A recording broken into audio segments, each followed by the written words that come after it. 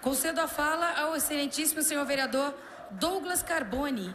Vossa Excelência dispõe de cinco minutos para sua fala.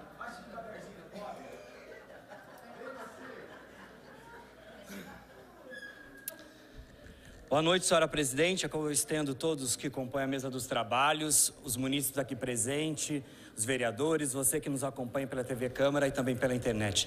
Primeiramente, fora Temer. É, vamos, porque o Temer deu um presente pra gente. Esse mesmo golpe que estão tentando fazer, aumento de gás, gasolina, energia elétrica.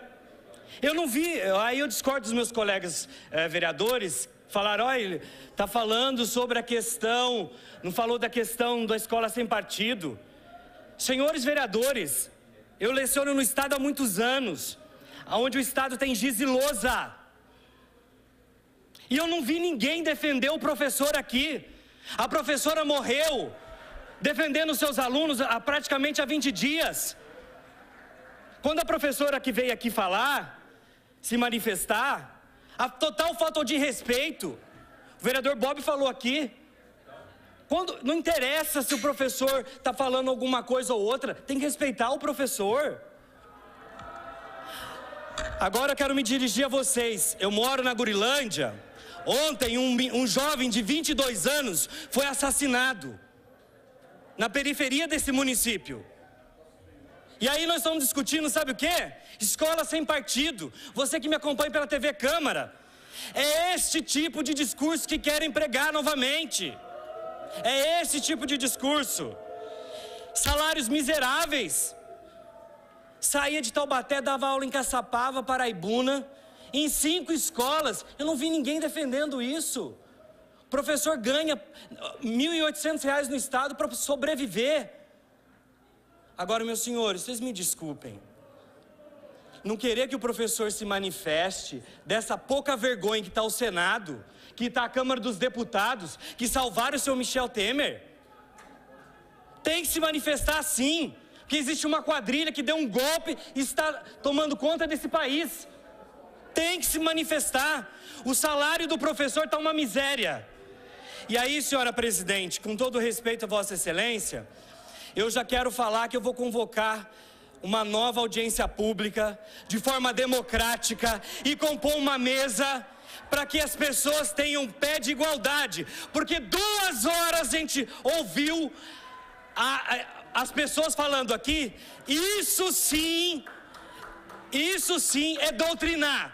Você ouviu duas horas as pessoas falando da mesma coisa, e ouviu um rapaz falar dez minutos. Se isso é doutrina, o que é doutrina? Ouvir um lado somente, vocês fizeram a gente ouvir vocês duas horas de forma cativa. Isso não é doutrinar? Então, com todo respeito, sou professor, defendo muito a classe dos meus colegas professores. Eu vou pedir desculpa aos meus professores, aos meus colegas professores, alunos, por algumas frases ditas aqui que não conhecem a realidade de sala de aula. A realidade de sala de aula parece um parquinho de diversão, que o professor sai da casa dele 6 horas da manhã e volta 11 horas da noite, porque ele trabalha de manhã, de tarde e de noite. Que ele vai para a escola doutrinar. Se, você, se, o professor tivesse doutrinado vocês, vocês não estariam com a camiseta direita Taubaté. Se o professor tivesse doutrinado, se esse poder cativo que os professores tivessem, a gente só tinha partido de esquerda. Então isso é balela, é conversa mole, é gente que não quer discutir, discutir política pública séria. É gente que não quer discutir política pública séria, responsável. O salário miserável dos professores. É gente que não tem coragem de olhar para o PSDB do estado de São Paulo, sabendo que ele faliu a educação do estado de São Paulo. Eu vi um dado aqui falando que o Brasil investe 19%, não conhece a realidade de sala de aula. Pode, vocês têm lado, eu sei que vocês têm lado, eu sei que vocês têm lado, não se preocupem. Agora, eu estou do lado do povo e da verdade. A verdade é o seguinte, meus colegas, e você que vai me acompanhar pela TV Câmara: Quero discutir segurança para os professores nas escolas. Quero discutir melhores salários. Quero discutir, sabe o que eu quero discutir? Investimento na educação. Muito bem falado aqui. Duas mil crianças em Taubaté está sem vaga. Isso que eu quero discutir. Para concluir, senhora presidente, quero informar que farei uma outra audiência dando espaço para os dois lados de forma igual. Obrigada, vereador Douglas Carbone. Vereadora Obrigada, Vivi. vereador Vereadora Douglas Vivi. Vereador Vivi. Pois não, vereador Ia Bob. pedir só para a senhora